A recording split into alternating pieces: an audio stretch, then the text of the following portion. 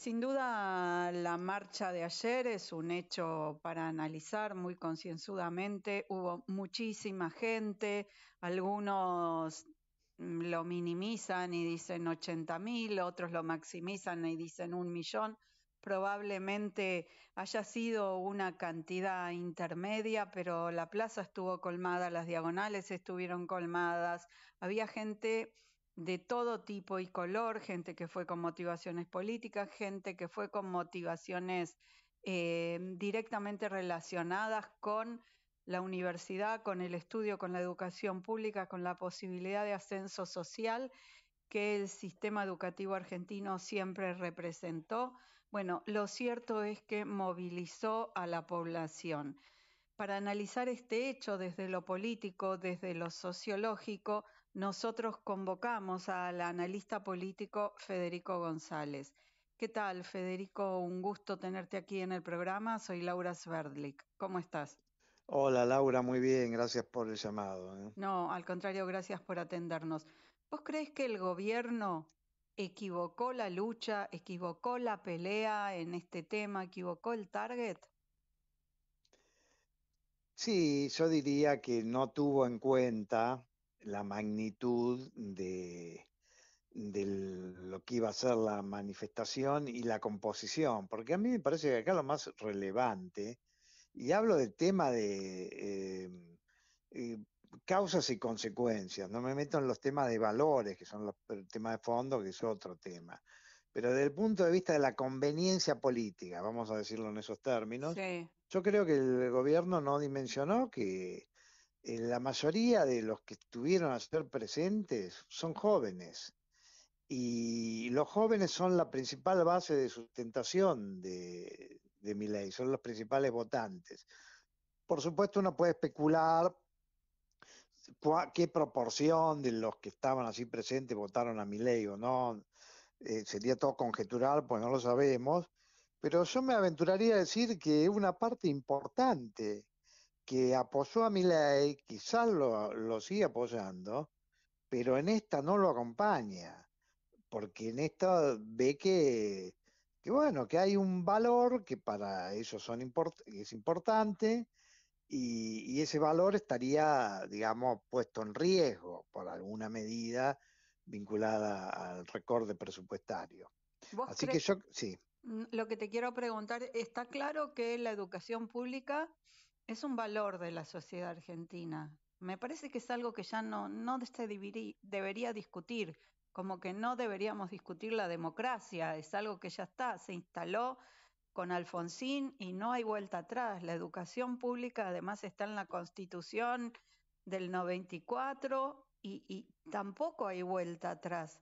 ¿Por qué esta cosa de, de, de tomar temas que ya son este, constitucionales de nuestra sociedad y ponerlos en, eh, en, tela de debate cuando ni el ahorro que pueda hacer, ni el impacto que pueda tener le va a generar demasiado. Bien, es una pregunta muy interesante y bueno, nos lleva a algo que, que creo que es un dato, es un hecho. Eh, y es eh, esta necesidad eh, justificada eh, y que por momentos se torna en una obsesión de mi ley por el tema del equilibrio fiscal, a mi juicio hace que, que la, digamos, la motosierra, la licuadora, actúen sin sin hacer discriminación de nada.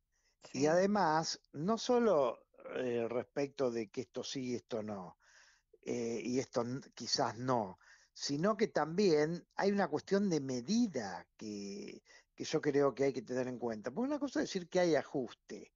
Ahora otra cosa es decir, bueno, hay ajuste, para darle una, un ejemplo numérico, hay un ajuste de un 5%, de un 10%, de un 20, de un 100 porque lo cerramos.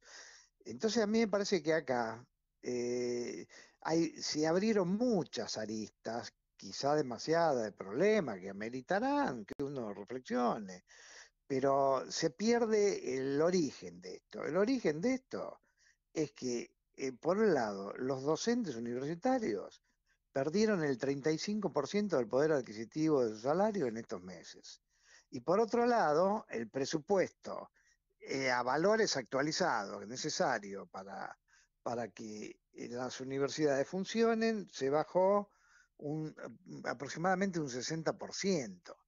Y entonces a mí me parece que eso, eh, es decir, todo lo demás, que las universidades deberían estar auditadas, que por qué no, que en la marcha había intereses que no son estrictamente los de, eh, la, educación. la, educación. pública.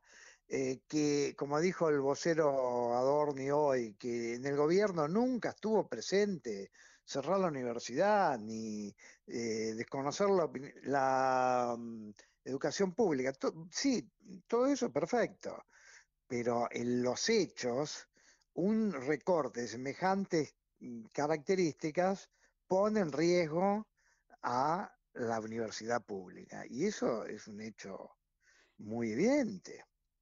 Ahora mira qué curioso, ¿no? Porque a la universidad pública le, le, redujeron una parte importante de su presupuesto, no se lo actualizaron y eso es, este, la verdad, muy grave con la inflación que hubo el año pasado. Está congelado desde octubre de 2022 el tema, pero a los jubilados los hicieron puré y no se generó esta misma movilización.